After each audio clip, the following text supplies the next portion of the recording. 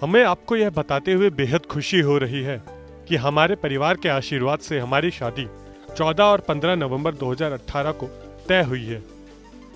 इतने सालों में आपने हमें जो प्यार और स्नेह दिया है, उसके लिए हम आपके आभारी हैं और हमारे शुरू होने वाले प्रेम, दोस्ती और विश्वास के इस खूबसूरत सफ़र के लिए हम आपके आशीर्वाद की कामना करते हैं।